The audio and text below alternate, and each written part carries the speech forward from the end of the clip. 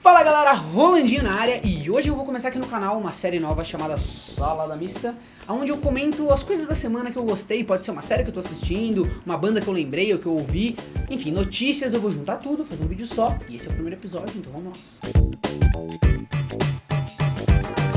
Eu comecei a reassistir Avatar e a Lenda de Aang, que é um desenho é, americano, mas num, num estilo meio anime, só que bom, né?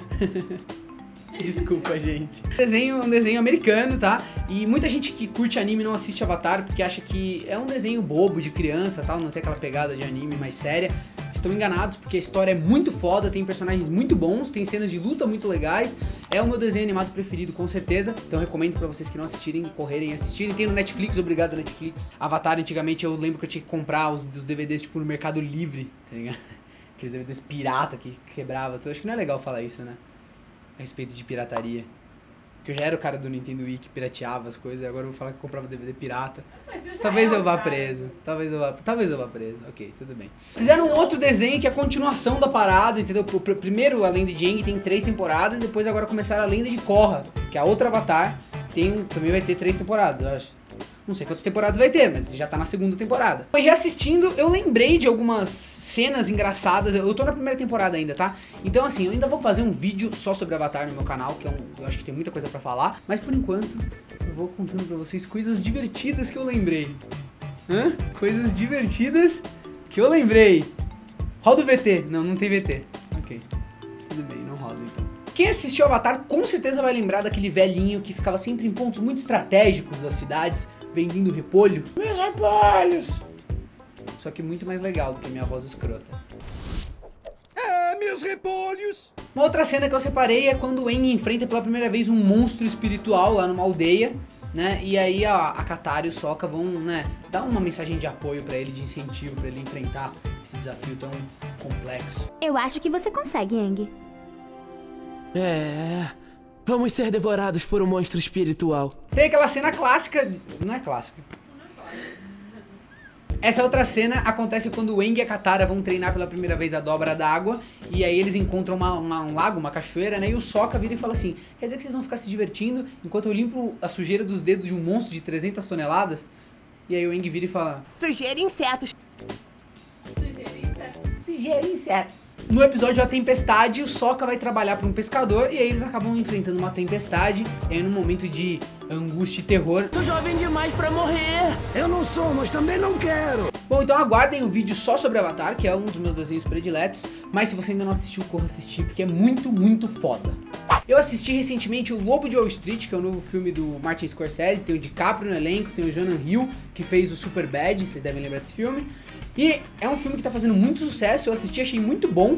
É, tem muita coisa legal no filme, pra, até para refletir, mas é um filme divertido de assistir de uma maneira geral, tem cenas muito engraçadas. Inclusive o DiCaprio faz um papel aqui que ele tem que ter muita entrega corporal. Tem uma cena que ele faz uma dancinha que é hilário. Dança, dança, dança. Eu não vou dançar.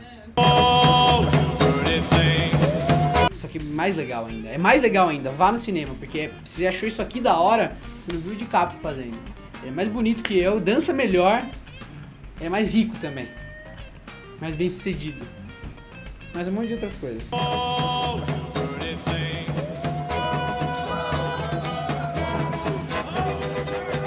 O Instagram dele bomba mais que o meu. Dá pra fazer um paralelo muito fácil com o Curtindo a Vida Doidado. Quem falou isso foi o Bruno Bock, meu amiguinho do Chacota. E ele falou, meu, é muito parecido com Curtindo a Vida Doidado, porque no Curtindo a Vida Doidado eles pegam a Ferrari do pai do cara pra dar rolê, e também tem um carro fera lá na... Carro fera! No Curtindo a Vida Doidado eles têm a Ferrari do pai do cara, que eles roubam, e ele também tem um carro fera. Fera de novo? Quem que fala fera, meu? 1940 aqui. O DiCaprio no elenco, mais uma galera muito fera. Caralho, vou ficar falando fera agora, nessa porra? Vou matar todo mundo nessa merda. Foda, foda. Foda, foda, fudido, muito legal.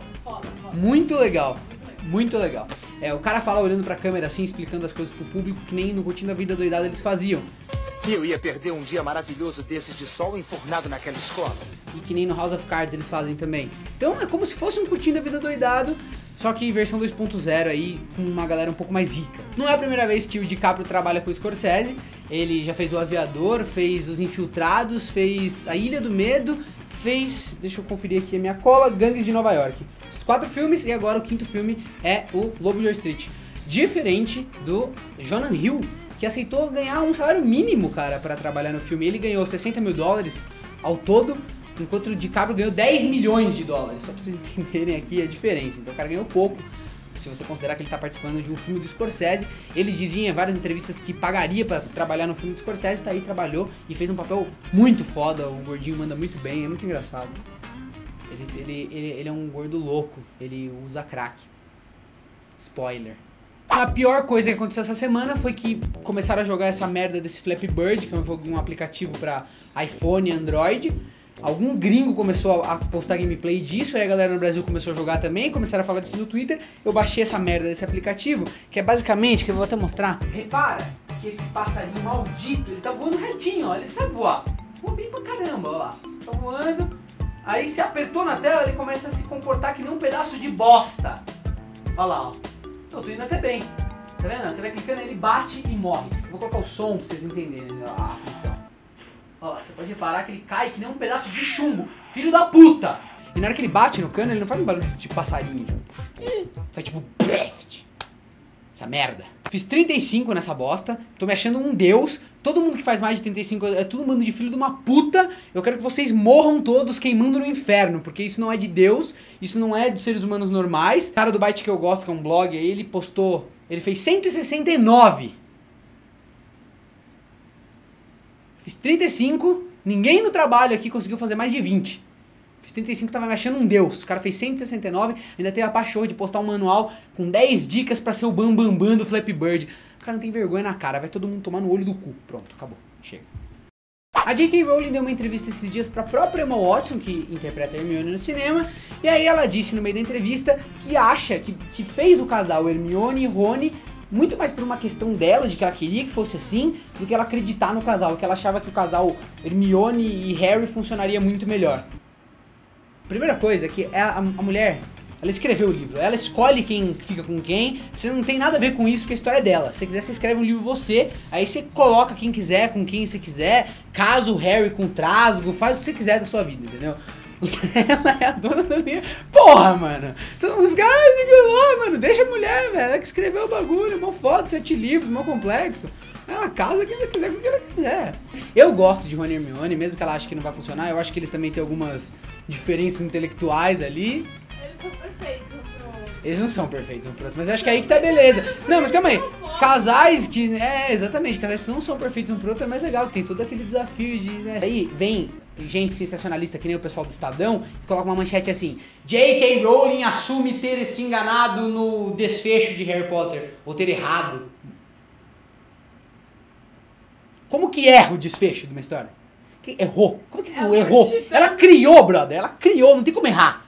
Não tem gabarito. Sua mãe errou de ter feito você nascer, brother. Não a JK de ter escrito o negócio, entendeu? Tô meio puto. Quer saber de uma coisa? Vem, vem, vem você dizer aqui o que você acha a respeito disso. Não, você tira esse fone de ridículo. Você tá, você tá parecendo o Mickey Mouse. O fone? Tira o fone. Agora explica. Ai! Diz tudo aquilo que você disse pra mim quando eu tava preparando o roteiro. Fala! Fala com toda a indignação que você tava falando. Fala pra eles, eles querem ouvir! É o seguinte. O Rony e a Hermione são perfeitos um pro outro, eles combinam mesmo sendo opostos, Hum. é, fica melhor assim. Hum. E o Harry com a Hermione é muito óbvio, não teria graça. É Não isso. teria graça porque é óbvio. Teria é graça. muito clichê. É muito clichê. Ok. Você sabe aquela cena que, que no Harry Potter 3, que eles estão em cima de uma pedra, porque voltaram no tempo e tal, e eles têm que esperar um tempão? Naquela hora eu falei, olha, se tiver que rolar alguma coisa, meu amigo vai ser agora. And now we wait. And now we wait. Achei que poderia ter o negócio do Harry com o Rony. Não, Harry com Rony.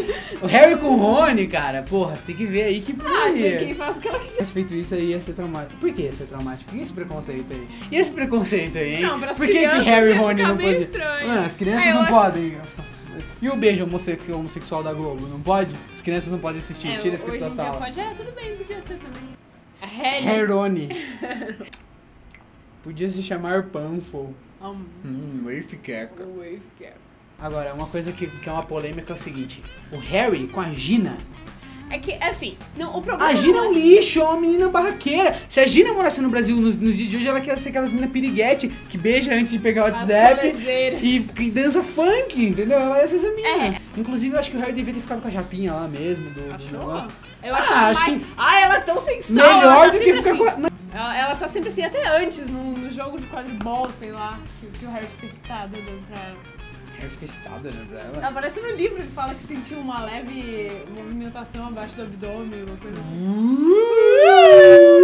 Bom, a mensagem final é o seguinte: JK escolhe quem, quem ela quer de casal, já tá escrito, é Rony e Hermione mesmo. E Eu Harry com Hermione eu achei, achei até que ficaria um pouco estranho, porque eles são muito amigos, eu prefiro assim também. E a Gina é o pior personagem desse livro, eu odeio ela com todas as forças da minha vida. Poxa, deixa eu ver se tem um personagem.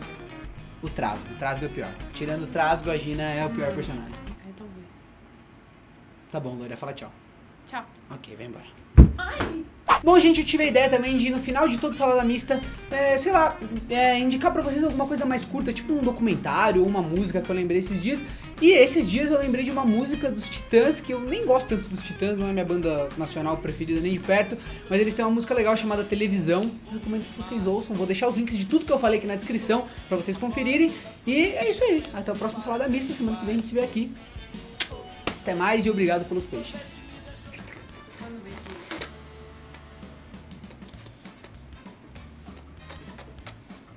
Hum, um beijo pros meus fãs. Tá gravando. Tá gravando a dançar por quê? Sei lá, pra ter. Muito?